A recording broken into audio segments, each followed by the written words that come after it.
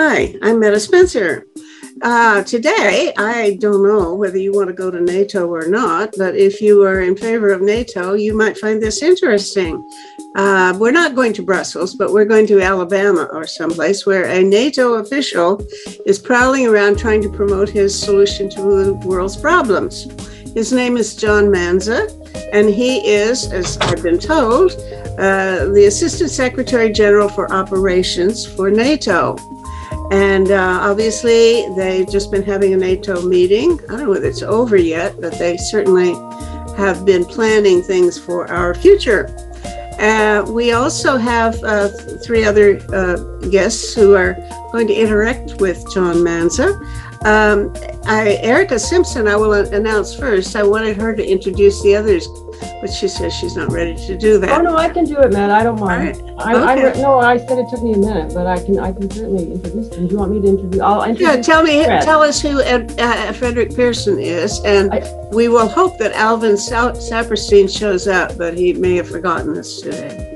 I just want to mention, um, Metta, that uh, Dr. Manza is the former Assistant Secretary General for NATO operations because now he's a professor at the National Defense University. So I'm not sure why he's traveling around to Alabama, but it's not on behalf of NATO, right, John? So thanks so much for helping to orchestrate this event, Erika. It's really great that you know these people who have the kind of contacts that you are making. You just corrected my big blooper because I got my information from Google. And of course, yeah. you, Google is always way out of date. So I'm sorry, John. So, John Manza is actually a professor at the National Defense University in Norfolk, Virginia. Uh, Alvin Saperstein is a professor emeritus of physics at Wayne State University, and he has spent time as a researcher at the Peace Research Institute in Oslo. Why don't I introduce? Uh, why don't I introduce Erika, and Erika introduce me? I don't need much introduction for Erika because she's here so often. She's an associate professor of political science at Western University in London, Ontario, and her special bag is NATO, which is why we're not really, but it is sort of. I don't I feel like it's so. bag, but it's okay. You like it that I talk about it. You want? I, I want you to be a specialist in NATO, so do okay. do so for the interim. All right, Frederic Pearson uh, who was going to introduce uh, Erika before I jumped on it, uh, is a professor of political science and a former director of the Center for Peace and Conflict Studies at Wayne State University. Is that right? That is right. Good. Anything you want to add to that? Anybody? Well, a lot of my work does deals with international military intervention and arms transfers. And Erika and I have been writing quite a bit lately about um, nuclear policy in Europe. And also provocative uh, force postures. The occasion uh, for uh, which makes it a bit timely for us now is that NATO has just been having their big annual, or maybe it's more than annual nowadays, uh, meeting a sort of summit. And um, uh, I, I hear that some things have been announced that I wasn't uh, completely up on yet. Maybe, Frederic, you can uh, begin by telling us what was the before, news of the day yesterday uh, out of Brussels. Uh, before Ed talks, you've gone through introductions, and I came in a little late. Can you tell me who Metta is? Oh, Metta Spencer is a retired sociology professor, University of Toronto, and the editor of Peace Magazine, and etc. Project Save the World. Okay, thank you. And I would have added, if I introduced Erika, that she's president. I don't know if she's still president, but has been president of the Canadian Re- Peace Research Association. That's right. That's a huge responsibility. I'm still president, but you know, I, I just want to mention that I redid Metta's uh, CV, academic CV. I think it's 100, it's 67 pages long. Most of it is publications. She's was probably a large font. bring her tons of money. She's, if you don't mind me saying, 90 years old, incredibly accomplished. She's going to get the Order of Canada soon. And she does. Come on. How many of these interviews have you done? 405. I'm not. You've done four, well, yeah, whatever we have, we're applying. So the main point is she's done 405 or 450 of these uh, since COVID started, which means one pretty well every day. And so it's hard to get all these people together and it's hard to go through their biographies and so on. But anyway, I'm happy to see that we have such an accomplished uh, panel. And I understand, Metta, that you're going to ask us questions and also the audience is going to ask us live questions. Is that right? Well, uh, the audience always can if they're, yeah. you know, while it's live. And what they do is type in a question, and Adam will, if he thinks it's a juicy question, Adam, my assistant, will enter, you know, come in and ask the question. But it, this rarely happens, so don't count on it. It's not likely. Uh, most of our audience watches us after I've edited this show and put it onto YouTube and a whole bunch of other places, our, our website tosavetheworld.ca and a number of social uh, social media platforms. Anyway, thank you so much uh, for uh, your generous uh, words. I don't usually uh, say anything except this is Metta Spencer because I I'm here too often. Thank you. All right, all of you are. I'm delighted to see you and. Um, let's get down to work. Did you want me to like, start off with those comments, Metta? Yes, please, please right. tell us what uh, has been. Uh, and this is all very conversational. You can interrupt well, each other and yeah. and even yell at each other if you want. Well, I started off to, for today uh, to, to, respond to John Manza's article a while back, a little while back, in, in relation to the Ukraine war, where he was warning that the Russians could, if pressed hard enough, this was a time that they were losing in the war, or not losing, but uh, hard pressed to accomplish anything in the warfare, that they might resort to the nuclear options for um, um, tactical nuclear weapons. And Putin, of course, has rattled those sabers notoriously. And I think John and I also agree that since that time, uh, the Russians have uh, quote unquote done better in their uh, in their strange uh, uh, aims, and probably are not quite as near to that threshold as they might have been. And even then, they may not have been very near it because it can lead down the slippery slope of nuclear war with the West. The problem, though, as I see it, is that the current development that's just taking place in, front, in our very uh, front of our very eyes in NATO's meeting th- this week is enlargement of NATO. And uh, it's perfectly understandable. And Putin deserves it because he stupidly blundered into this mess where he has done what he presumably didn't want to do, which is strengthen NATO uh, as opposed to weakening it, uh, with the uh, likely admission of Sweden and um, Finland. And who would have thought that Finland would actually come away from neutrality to actually join NATO? That's pretty dire situation. But if you look at this geographically and strategically, there is a concern. There's a downside to this because, yes, NATO is strengthened and the US is putting in a lot more troops on into Europe. Uh, Biden has announced something like, is it 300,000 uh, to be based in Europe? and particularly um, moving into Poland with a, uh, permanent installation there, uh, command installation. And Romania. And Romania. And the view from Moscow of this has to be uh, um, problematic in the sense that the NATO now has the capability of completely flanking the Russians to the north and to the south. And Turkey's back aboard, evidently, uh, proving for some kind of a trade off the admission of the new states. It hasn't been voted on yet by the 30 parliaments, shall we say, but it's in the offing. And any time in history that I've observed where one side or the other feels uh, conventionally disadvantaged yeah. in their confrontation, that's when they became enamored with the potential of tactical nuclear weapons. It happened with the United States for a period of time when we perceived a severe disadvantage with Russian artillery and tanks in the Cold War era. And we refused to make a no first use nuclear pledge because it appeared that there might be nuclear options to offset the Russians' uh, advantages. Mm-hmm. In the mm-hmm. Cuban Missile Crisis, where Khrushchev was at a distinct conventional disadvantage in the Caribbean, with no, no, no major navy. He had actually pre authorized Russian troops in Cuba to use tactical nuclear weapons. The US didn't have a clue about this, emerged later. If the US had invaded Cuba with Marines, which was on the table for the Kennedy, uh, you know, ExComm decision makers, one of their options, they would have blundered into a nuclear, potentially a nuclear reception in Cuba. Even then, when the US didn't do that, we put a naval blockade around, calling it a quarantine. Interesting in light of a pandemic today.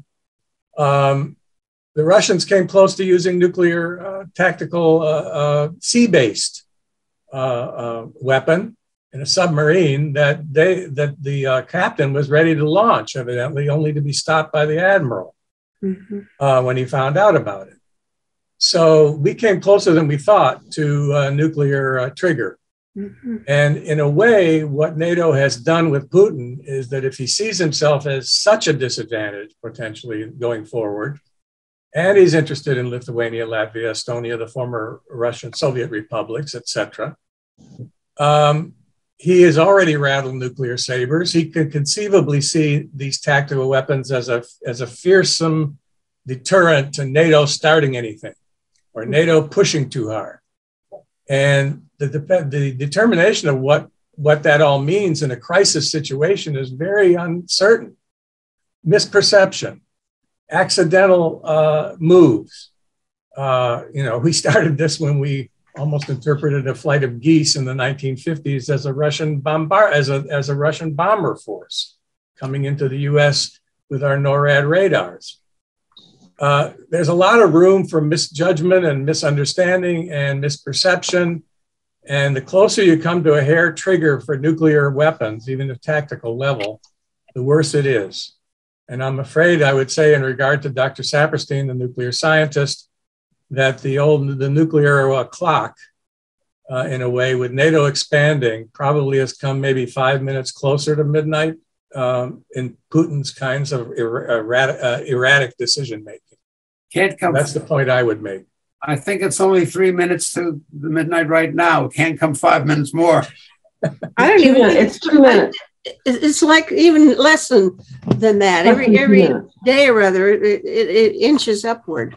But John's right. They're not likely to do it as long as they perceive they're winning, quote unquote, in Ukraine. But that's uncertain for how that's going to turn out and uh, how they'll perceive this newly um, in, in, in, enlarged NATO.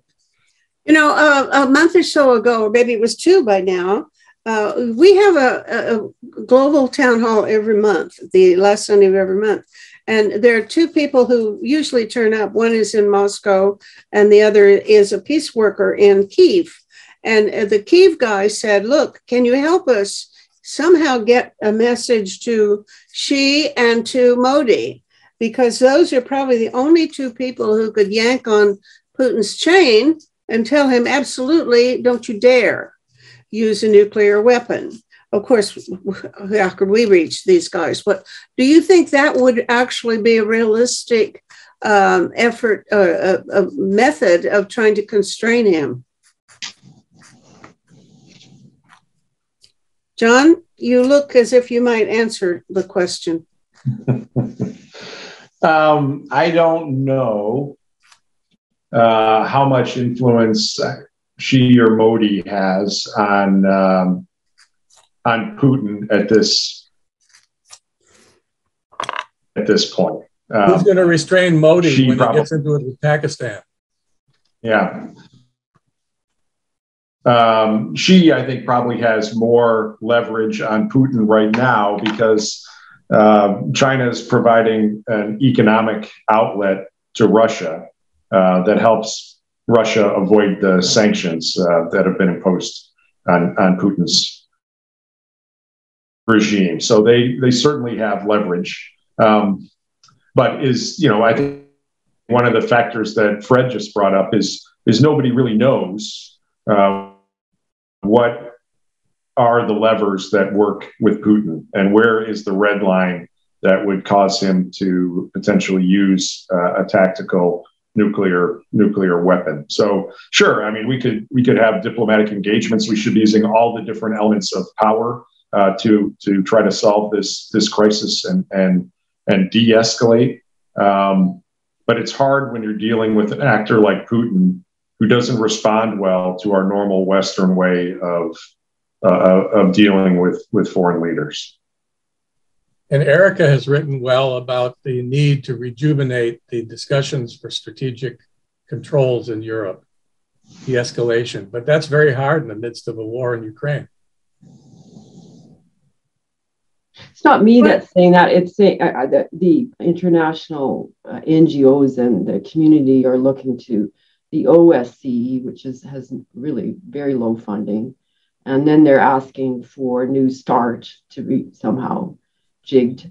But obviously, we're in the middle of a crisis, so nobody is expecting that there will be bilateral or even multilateral arms control negotiations. Nobody, mean, I was hopeful that the NPT review conference in August would reach, would go somewhere. But from everything that I'm seeing, including the very few members of civil society showing up, I don't think we're going to see any movement on arms control for a very long time. But that doesn't mean you can't write about the necessity to have, as John Maz is saying, dialogue in all sorts of multilateral organizations. We can't give up on trying to talk even with uh, recalcitrant states like Saudi Arabia and Iran and North Korea. You don't stop talking when you're getting a divorce. You still have to have a mediator and so on. I speak from experience. I think the experience of the Minsk agreement, which was aborted, unfortunately, leading to all of this mess, uh, means that the OSCE and the NATO Russia Council, I believe, are crucial to be looked at for renewed negotiations. And yeah, although you're, I think you're too quick to blame the Minsk failure just because the OSCE was not able to agree just because of one failure doesn't mean you throw the baby out no, with the bathwater. Right. You know what I'm saying? So the OSCE can still be effective. It's got. I'd like to see the Minsk agreement rejuvenated, brought back in some workable way. Yeah. Because to me, Something. that's the only way out of this. What would have to change in order to be it workable? At, at this moment, you know, it's hard to imagine. Well, you'd have to do something about the Donbass's future that satisfied both sides. And it would take very creative diplomacy. Which would you have to even touch the Crimea question? Could Possibly you, could not. you bracket that? I think Zelensky has sort of uh, conceded that what you could do is he would deal with the other issues and kind of bracket the the, the Crimea question for later uh, later work, which you know is like building in a guaranteed frozen conflict. But what? But what's wrong with that, Metta? What's wrong with a frozen conflict?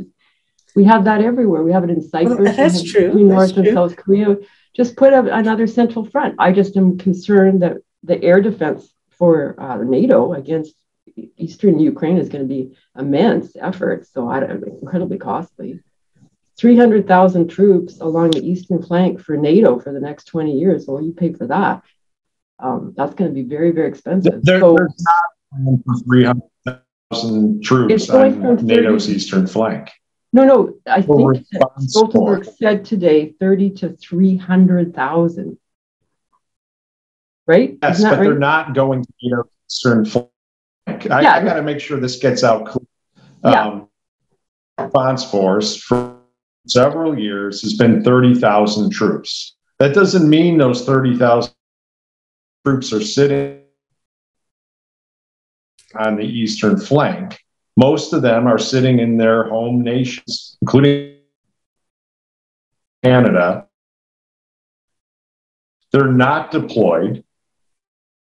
Now, in response to the invasion of Ukraine, most of those 30,000 troops are deployed along uh, NATO's eastern flank. but when they increased the NATO response force from 30 to 300,000, um, that is a force that is, you know, primarily in reserve. Some of them might might go forward, but but that would be almost a full mobilization of NATO's resources. Nobody's talking about that right now.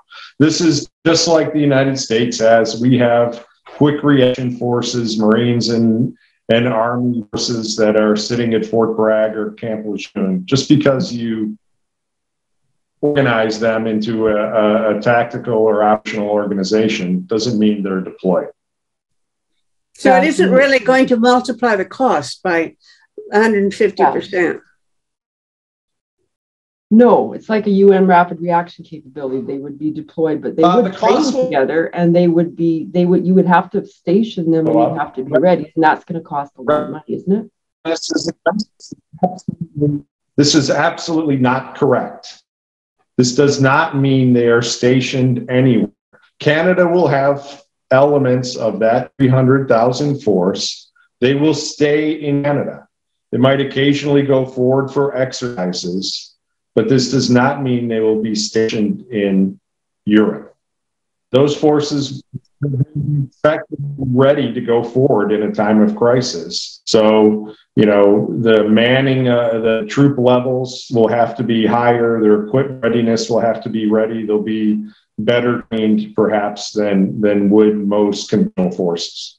Let me ask um, a, more, a couple of more general questions. One is A, why the Minsk thing failed. I don't, I don't think it's usually useful to go back and try to cast blame on, on people, but it, at least I think there's a real question of why it failed.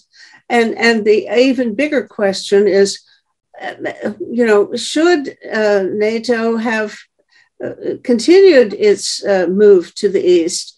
How much blame should uh, be uh, apportioned to NATO for, or the people running it, for continuing to expand, and to what extent does Putin have a legitimate grievance? Uh, certainly, there's no nobody I think would argue that it's a good enough grievance to excuse what he did. But those are two real questions that everybody talks about, and I expect you guys have strong opinions about it. Well, I think that politics can't be ignored in our calculations, and we have to keep it in mind. We failed to do that in Afghanistan, for instance, NATO's involvement, US involvement. We didn't understand the country. We, we tried to remake it in an image that we had for it. It completely, completely failed.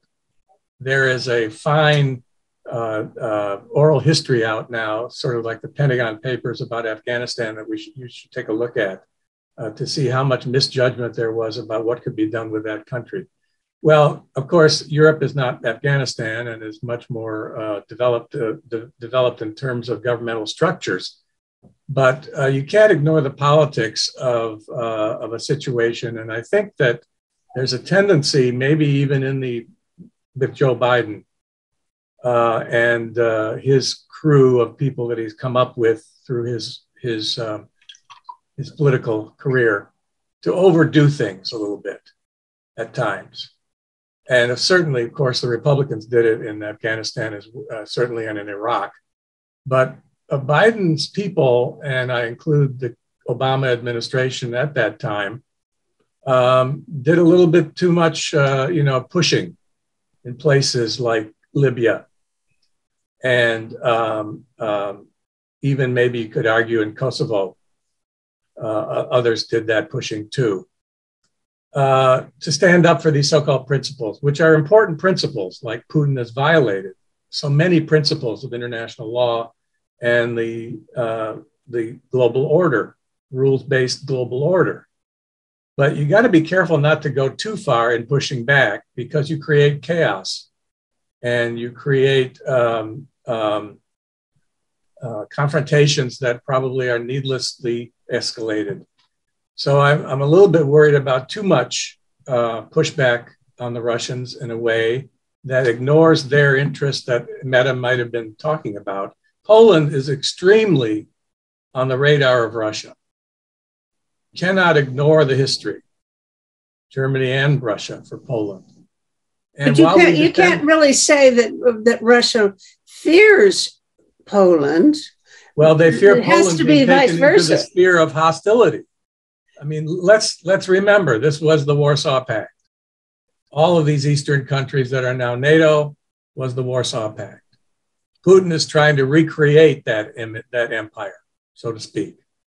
That was given to them, if you will, if you read Winston Churchill's memoir, when he sat in a room with Stalin and they had pieces of paper with each Eastern European country on it with ratios 50 50, 60 40, 90 10, 80 20.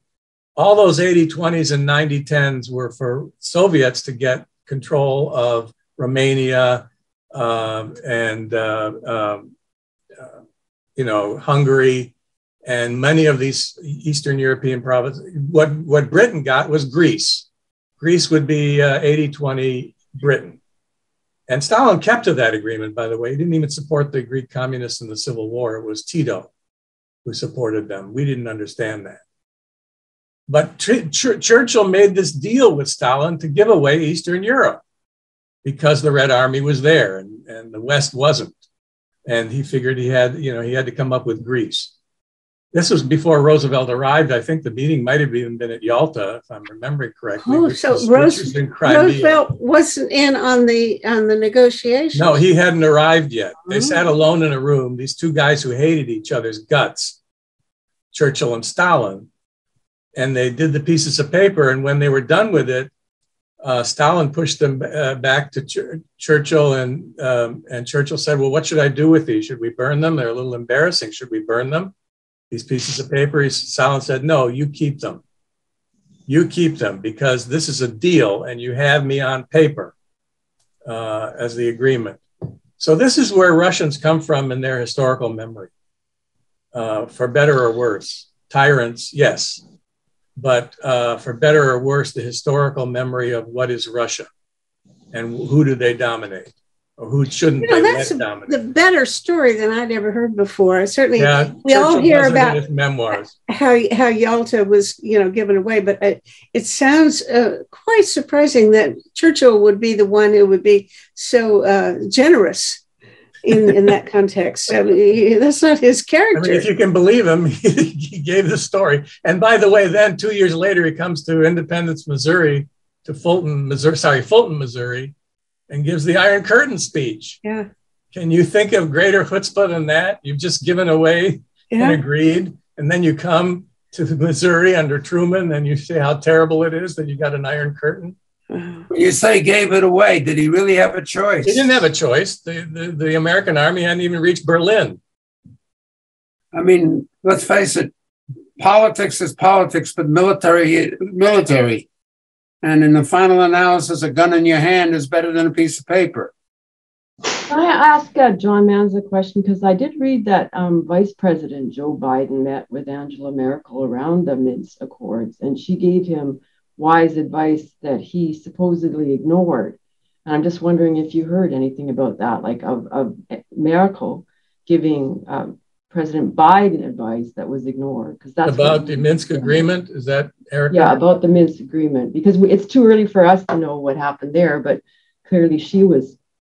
Did you hear anything about that? Because you were in the Pentagon and in you were in Washington around that time.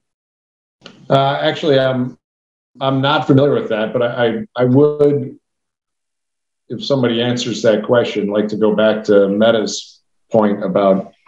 Um, the enlargement of NATO and the risks with Russia? And did anybody bring this up at the time? People brought up the risks of expansion when they went from 16 to 19. Uh, and then again, uh, lots of liberals have brought it up, and also at NATO. Council. I was even at the NATO Council in 2000 and um, right after 9 11, and they were talking about the risk of expansion.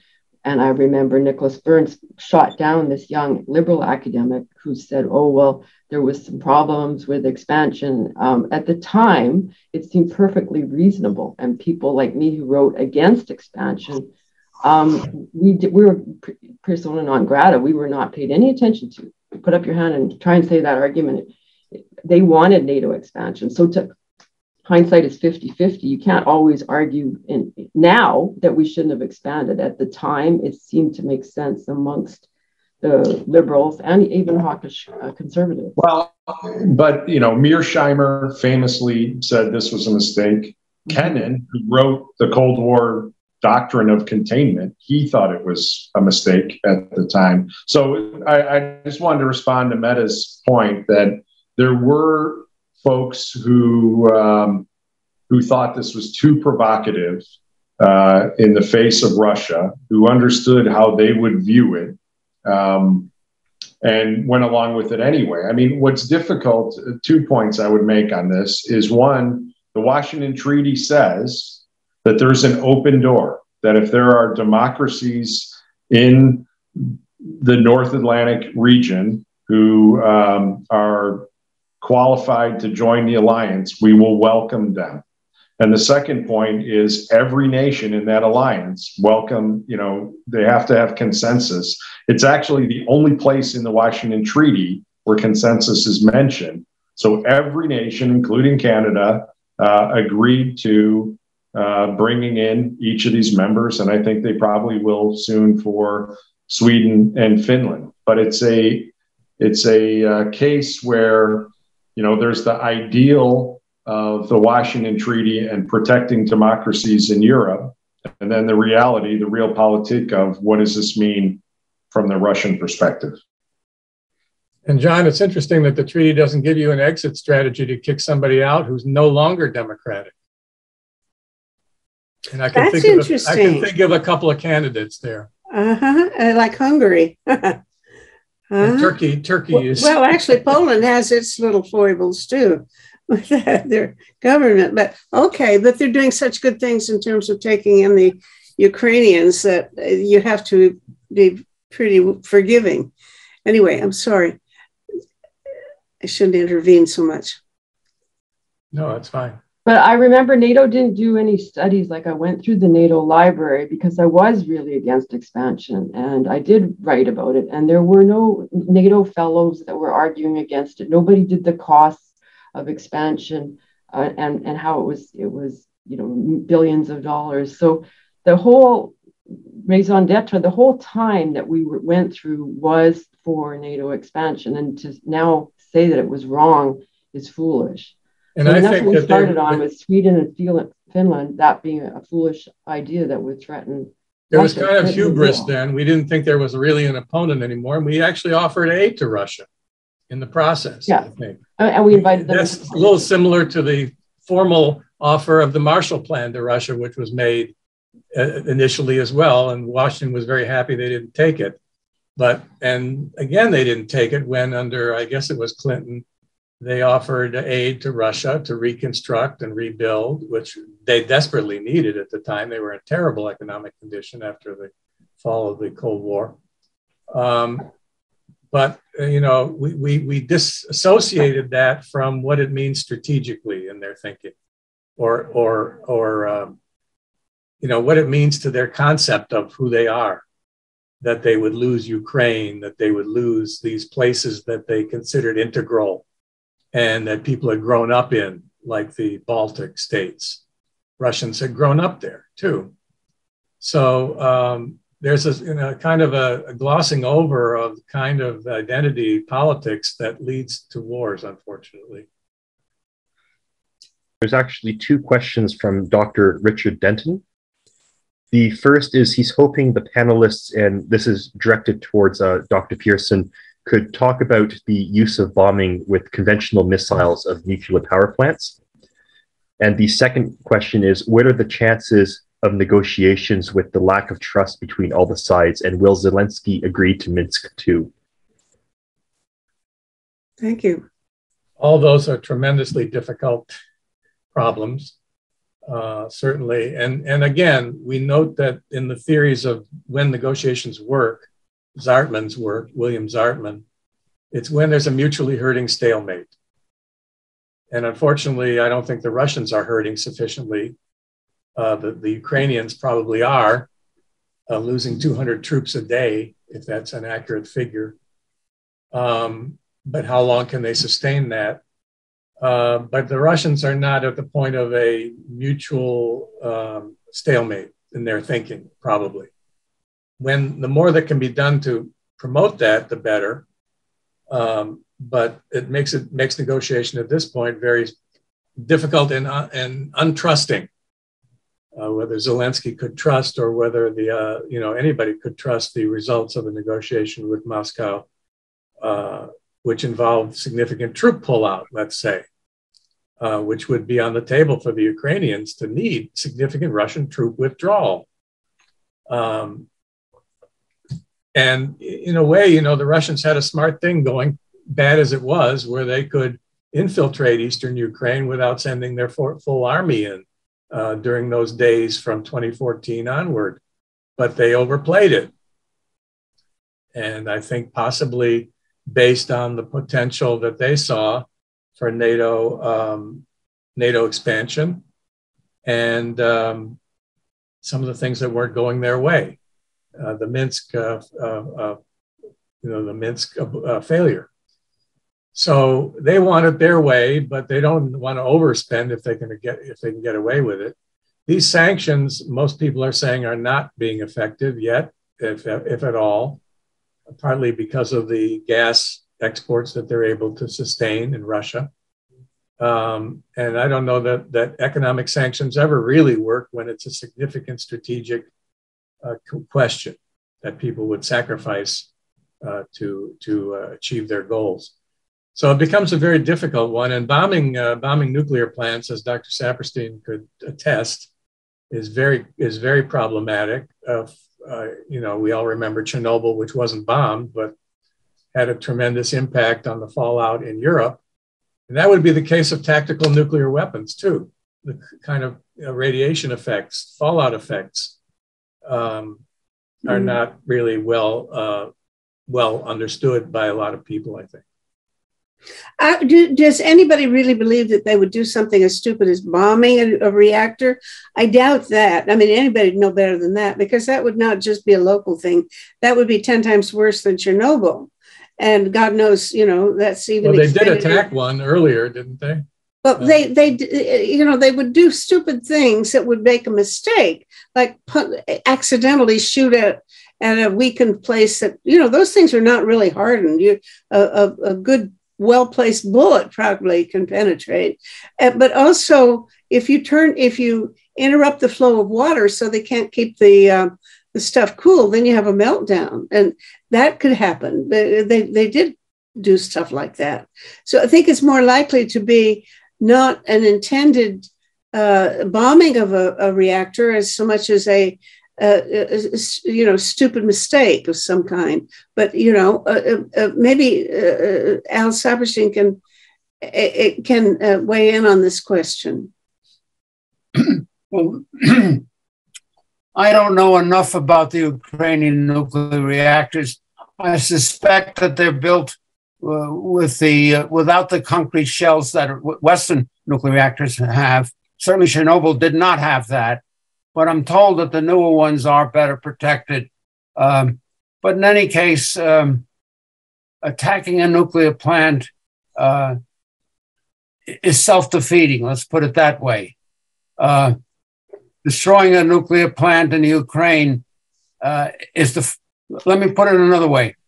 We were talking about what is necessary to have negotiations. If only one party is suffering, there's no need for negotiations. The only reason you're going to have negotiations if both parties are suffering. Right now, the Russians are not suffering. The only way to get no, uh, uh, negotiations going is if somehow or other the Russians thought to suffer like the Ukrainians are suffering. Now, one way of doing that, of course, is to destroy some nuclear reactors close to the Russian border. Uh, another way, as far as I can tell, uh, is if somehow or other the West uh, supplies Ukraine with long distance missiles, not necessarily nuclear missiles, but the fact remains that the Russians are able to send uh, non nuclear missiles to various Ukrainian cities and wreak damage all over the place. And the average Russian citizen says, What, war? There's no war. Uh, until the Ukrainians can do significant damage to Russian cities, the Russians have no, no need to negotiate. I, totally agree. As long as the Russians think they're winning, they're not heading to, towards the negotiating table. Um, so I, I, think Fred's right. Unless it's a mutually destructive stalemate, um, we're not going to get there. Um, but to Al's point, you know, I, I, think at least, yeah, I can't speak for the White House, but it seems that on the US side, we are very hesitant to provide the Ukrainians with weapon systems that will allow them to strike into Russia. Mm-hmm. That that could then start moving this towards the use of a tactical nuclear weapon. Um, so we're we're very carefully metering what weapon systems we provide to Ukraine, not to provide Putin with some excuse to escalate. And you know the the problem with dealing with Russia too is their nuclear policy of escalating to de-escalate, where they would take a step that we would never consider, like the use of a tactical nuclear weapon, um, and then that in itself uh, brings the all the negotiating parties to the table, or or causes us to back off. They're willing to do things that we are not willing to do, and that makes them a dangerous um, foe in in a situation like. And I'm not sure that uh, that our that our doctrines, our military doctrines, are similar.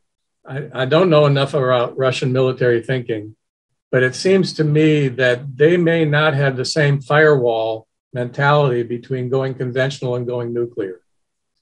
That they may see it all as a continuum, at least at the tactical. They, they do. I mean, their exercises they go from tactical to operational to nuclear uh, in their exercises. We do not do that. We have a firewall there. And let's remember how they started with their nuclear missile, with their missile program back in the 50s when they began their full development.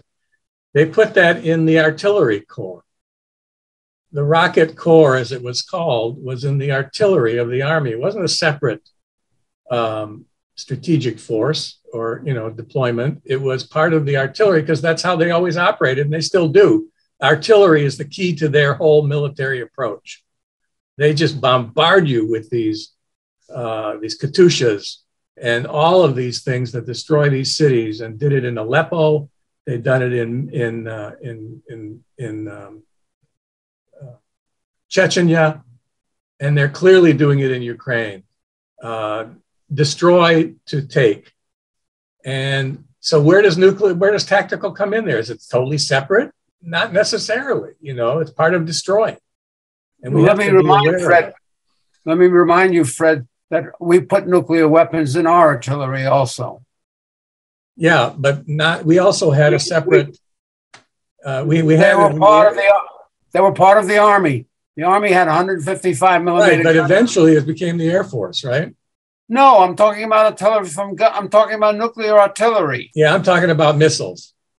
Missiles. When they set up when they set up the missiles in Cuba, it wasn't the Air Force that set them up. It was the it was the field artillery that set them up because oh, that's that where they be. always had them. That may be, but we're talking about artillery, and and you got to keep in mind that we had nuclear artillery. Right. Whether we right. still do, I don't know. True. That's true. But we did have it. In fact, we had we had nuclear bombs so small that the, there was a one man sort of a bazooka like like thing, which. Uh, no, I didn't mean to gloss. Oh, yeah, you're right, Al.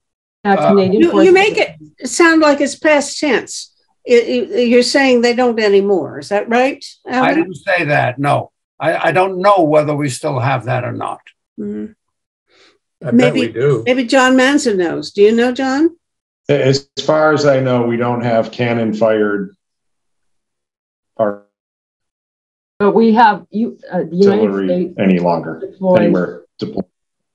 But there are a, approximately 100, perhaps 120 forward-based tactical nuclear weapons on five, you know, countries' bases. Uh, and in fact, I think it was yesterday, one of the bases in Belgium, they discovered a drug making uh, factory equipment for ecstasy. So people in, in Belgium are concerned about that. But I wanted to just mention this theory about, I call it the right for resolution theory, the idea that both sides have to be ready to negotiate. We keep talking about Russia, but maybe um, Europe will be ready to negotiate in the fall because of the gas imports uh, declining. And as the winter approaches, that maybe pressure will be put on Zelensky by countries like Germany that are very dependent on gas. And so, you know, we're looking at, I think we should look back at ourselves and say, will we be willing to have a frozen conflict with perhaps Donbass and Luhansk belonging to uh, Russia and having a new central front that uh, would be in Europe. And into, in my mind, I see that as a safer freeze than to continue a proxy war like this all next winter. I'm not sure. I mean, I'm not saying we should give up. I'm just saying the number 500 Ukrainians a day is a lot to to lose, and we don't know how many Russians are going back and saying coffins to their moms. But there's going to be pressure on uh, Russians, but not enough to go to the table. Maybe we should start talking about going to the table this fall. And it also depends on how the U.S. does or doesn't gear up its liquefied natural gas exports to levels. Well, we're talking about that in Canada, but we're not levels that could sustain Germany, let's say, or not. We need, yeah, we're not deliberately talking about that, and that concerns me. We would have to start talking about that, and also the food situation and the shortages for everywhere, like Libya and Yemen and so on, where they're going to go through mass starvation and not enough sunflower oil. So the crisis right now is not ripe for resolution, but it certainly will be by the fall. And that's when maybe we should start thinking about putting some pressure on Ukrainians to recognize that the dividing line is going to be there and uh, NATO will be not taking Ukraine as a member, obviously, but not for a long time. But maybe that would be safer for the world rather than to continue on like this.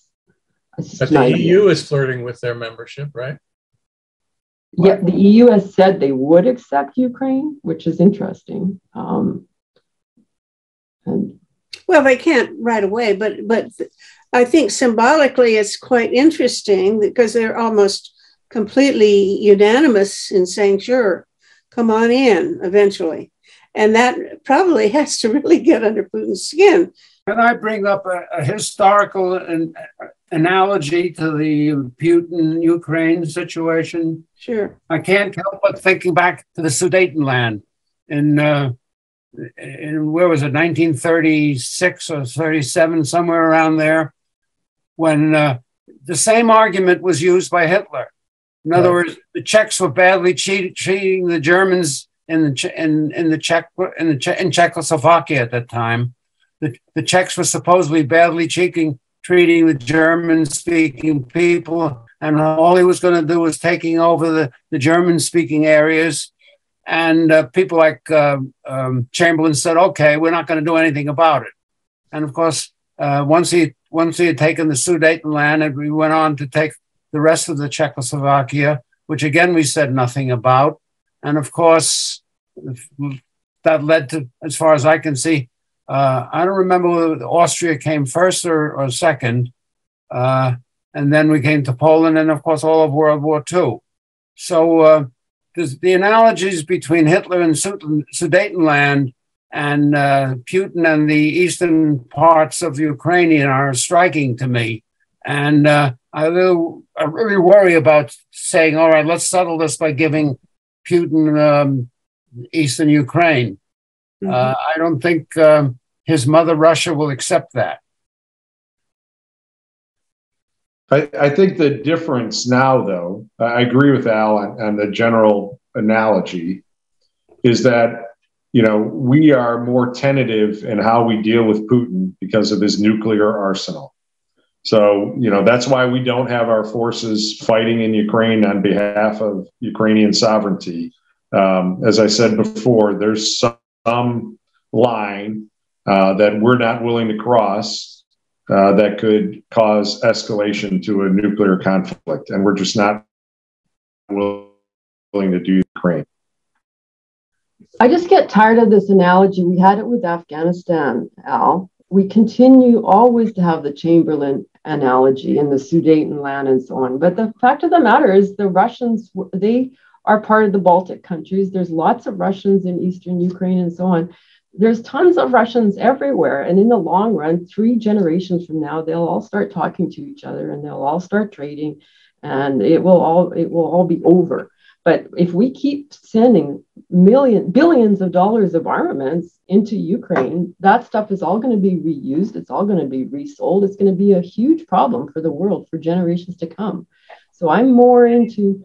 I, I really think you cannot make the argument that um, uh, R- Russia, because they did not win, they did not take Kiev. They did not take Kiev, and they're stuck in one small in one small part of Ukraine. Then that means that uh, Putin is another Hitler, and we need to say no to any kind of expansion. No, he's losing in the world international community. He is losing. He's a pariah state. I would not want to be him with his daughters. I'm not too worried about uh, uh, him being another Hitler. We always. I don't think that. I think, I think Fred brought this up. You know, sanctions on Russia right now. That that's a, a difficult uh, regime to keep in place. Uh, a sanctions regime. Uh, the Russians are, are are actually doing quite well. He's selling oil, making a huge amount of money that he's using to fund this war.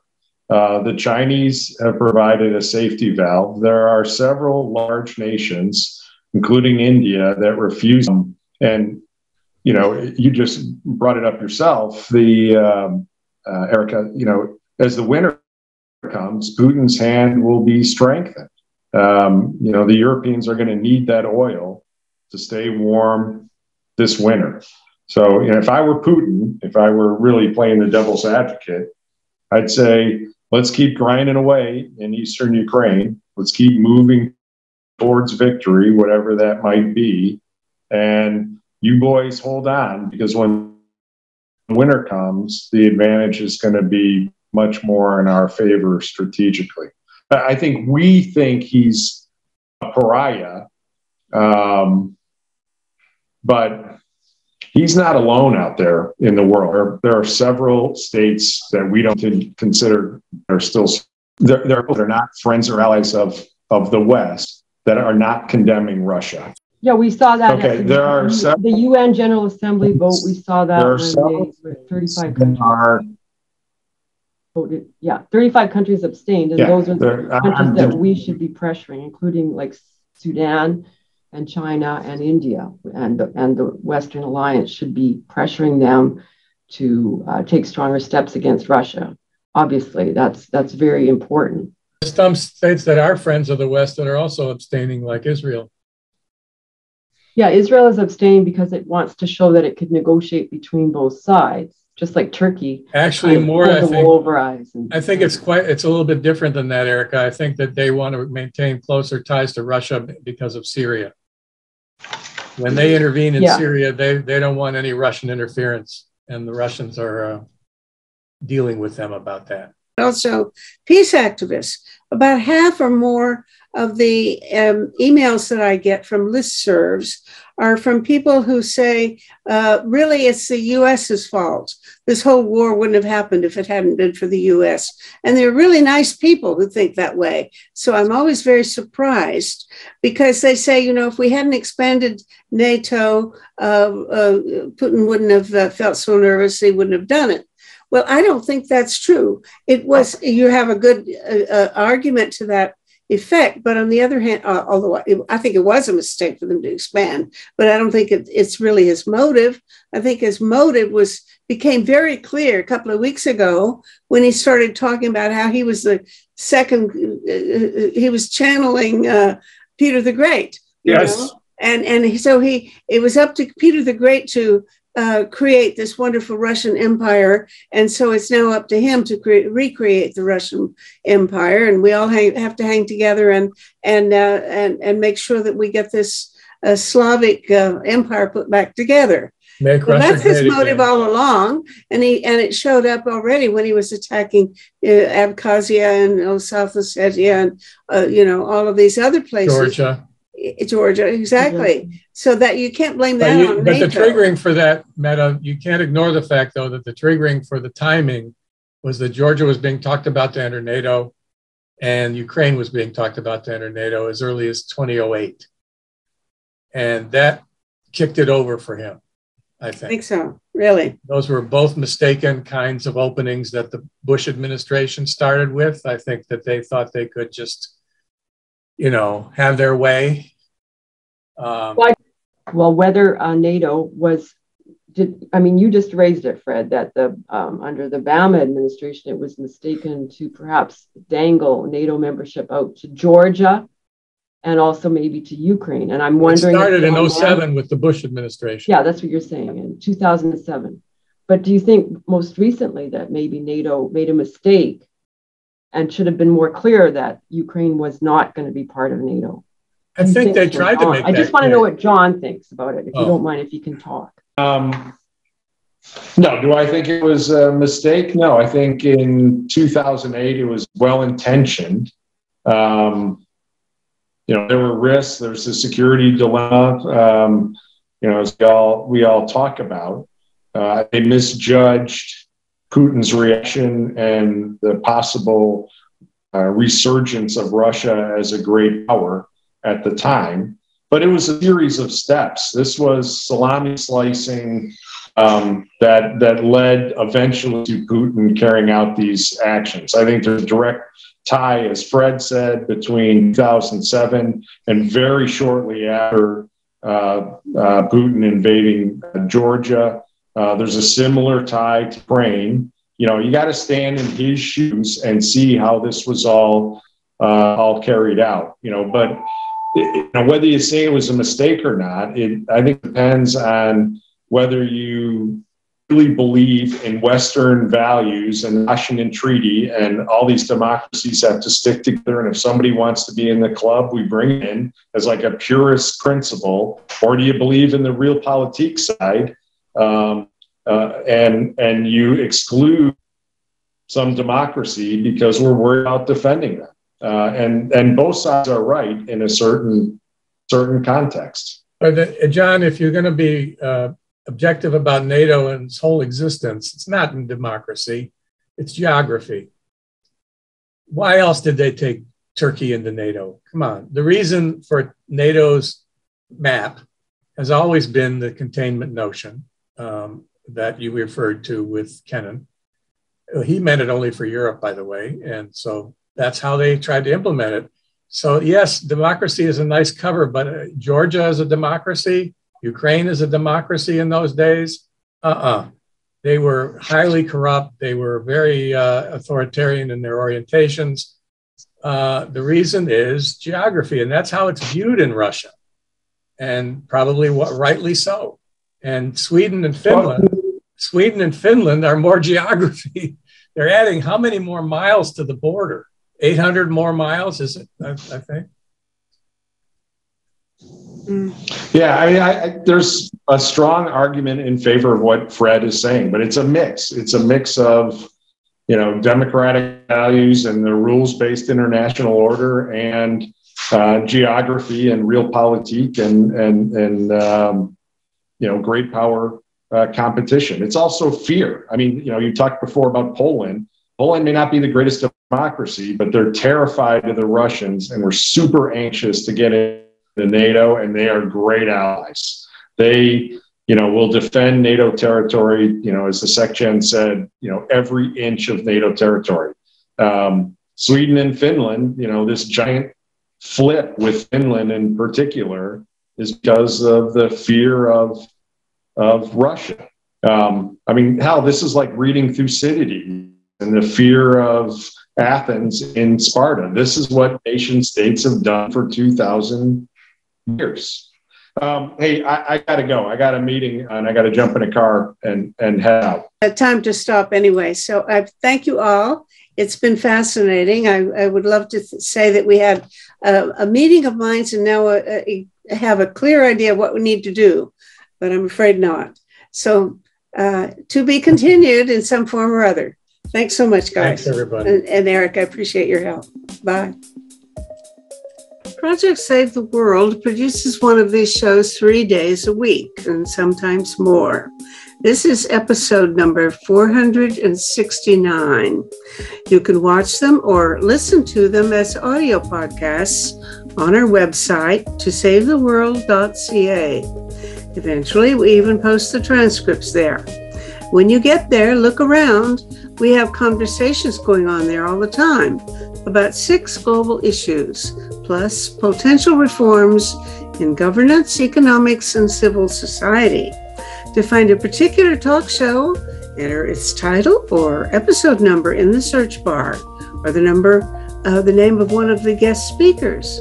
And after you've watched or listened, scroll down and share your own thoughts about the show. This is a place for dialogue. Project Save the World also produces a quarterly online publication, Peace Magazine. You can buy a single copy or subscribe for $20 Canadian per year through Pressreader. Just go to pressreader.com on your browser and in the search bar, enter the word peace. You'll see the cover of the current issue and buttons to click to subscribe.